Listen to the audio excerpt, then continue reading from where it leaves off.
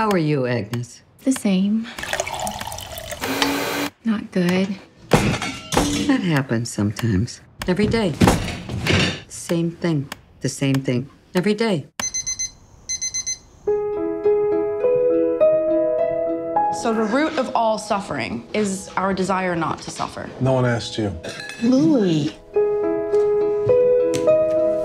What's going on? Mom just did a puzzle. Only children play with puzzles, Agnes. Remember, thou art dust, and to dust thou shalt return. Puzzle partner. I'm here about the puzzles. seem to have some mark on your forehead. It's Ash Wednesday. Is that a problem? No, not at all. As long as we don't have to share the prize with the Pope. A competition? I'm doing it. Honey. I'm not asking you. I'm telling you. You're so much more comfortable when you're focusing on the puzzles. Turns you on. He's using you. Everybody always uses you, and you let them. I don't know why someone like you would find me interesting. You're modest and strange and beautiful and funny. Does that make me weird? No, just different.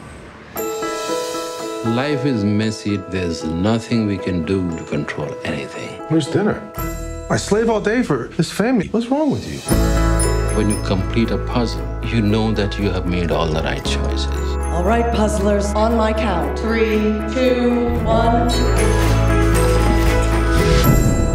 You gotta tell me everything. I don't have to tell you anything. It's the best thing I've ever done. Faith, ambition, love. What other pursuits can give you that kind of perfection? To getting all the wrong pieces right.